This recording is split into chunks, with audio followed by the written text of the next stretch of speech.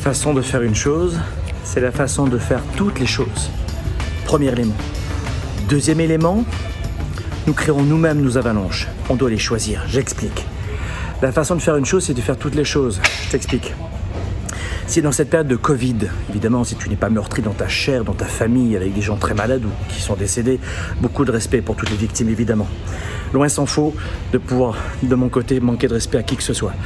Dans cette période de Covid, est-ce que tu fais partie de ces gens qui sont figés, qui ont peur, qui n'avancent plus, qui sont tétanisés, cristallisés ou de ces gens qui, dans cette période de défi, se disent Ouais, un nouveau défi. Un peu comme un bras de fer, tu sais, tu dis Tu pousses, tu sais, pousse, pousse, pousse. Et plus il y a de la résistance, et plus tu as envie de pousser, tu vois. Et c'est ça la question qu'il faut se poser.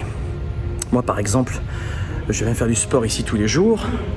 Alors, euh, autant mon grand, il aime bien faire du sport de son côté, mais mon plus jeune, Julien, il vient avec moi tous les jours faire du sport et il se pousse, il se pousse, il se pousse, il se pousse, il se pousse.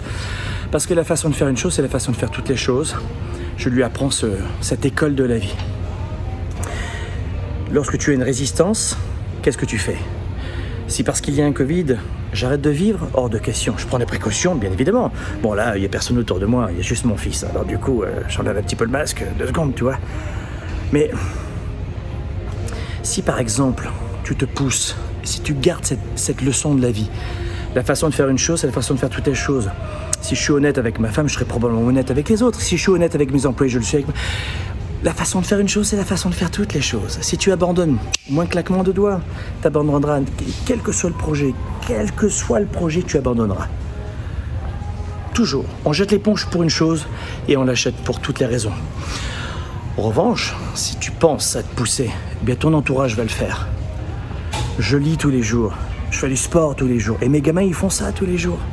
Parce que, que tu le veuilles ou non, un comportement positif transpire autour de lui, comme un comportement négatif. Ça, c'est mon Julien, par exemple. Regarde. Il se pousse, il se pousse, il se pousse. Oui, mon Juju. Yeah. Ton papa est fier de toi. Bravo, chérie.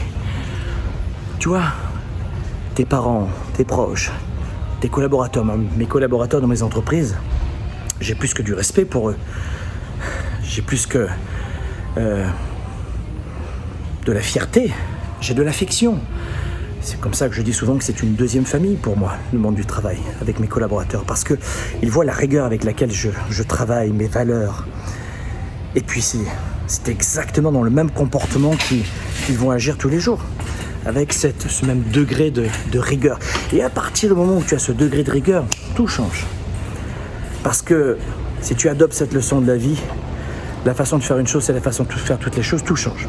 Le deuxième élément, c'est que nous sommes des créateurs d'avalanches.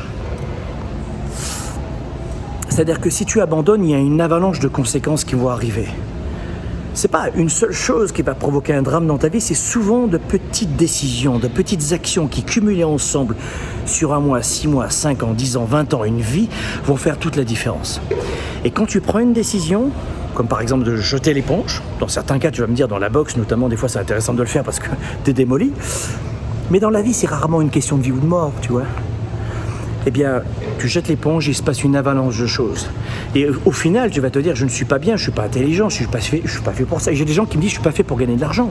Il y a des gens qui disent, je ne suis pas assez intelligent, pas assez diplômé pour monter une entreprise. Enfin, on en tire des conclusions absurdes. Mais ils disent cela à la fin de l'avalanche ou pendant l'avalanche de conséquences suite à une première décision. Donc, instruisez-vous, augmentez vos connaissances, développez votre, votre état d'esprit, votre psychologie. C'est extrêmement important. Et puis tu peux aussi créer une avalanche de, de faits extrêmement positifs, galvanisants et riches. Et ça aussi, ça fait toute la différence. Nous sommes des créateurs d'avalanches. Mais c'est à toi de choisir la forme de ton avalanche.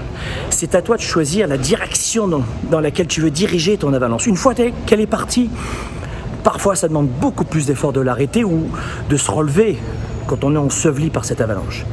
On est des créateurs d'avalanche, mais on peut choisir, nous, dans quelle direction, quand et où, sur quelle montagne la déclencher. Parce que, évidemment, chaque décision a des conséquences. Et si tu te mets à lire, par exemple, tous les jours, 15 minutes, bah, tu auras lu un bouquin au bout de quelques semaines ou quelques jours. Et si tu fais un petit peu de sport tous les jours euh, et que tu enlèves 100 calories par jour et que tu en brûles 100 de plus, euh, c'est une avalanche. Pareil pour, euh, le compound effect dont on parle souvent dans, dans la bourse, dans l'immobilier, petit à petit, nous sommes, et c'est ce que j'appelle des créateurs d'avalanches. La façon de faire une chose, c'est la façon de faire toutes les choses. Alors prenez garde à vos réactions, à vos comportements et à votre propension aussi à choisir la facilité. La deuxième des choses, on est des créateurs d'avalanches. Et autant les choisir parce qu'en plus on transpire sur les autres nos comportements. On peut élever les gens autour de nous, les rabaisser ou les décourager. À vous de choisir.